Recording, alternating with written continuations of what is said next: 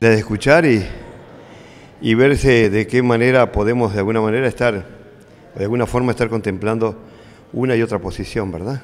Este, buscar un punto coincidente. Lo que nos tiene preocupado sí la incidencia que ha tenido esta, esta, esta medida en, en muchas familias que vivían precisamente de la comercialización de, de los productos que extraen de la Argentina. Pero también tenemos que contemplar por el otro lado la situación de los propios comerciantes que en definitiva son los que pagan tributos también para ejercer el comercio libremente. O sea, es una situación bastante complicada.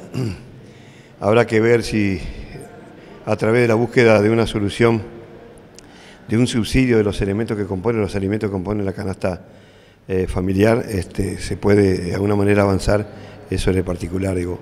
Así como se subsidió el combustible, fundamentalmente la nafta, ¿por qué no se pueden subsidiar los alimentos de primera necesidad e incluir en una canasta eh, familiar? Digo, por ahí se evitaría de pronto este, algún tipo de inconvenientes este, en el tendido internacional Paisandú.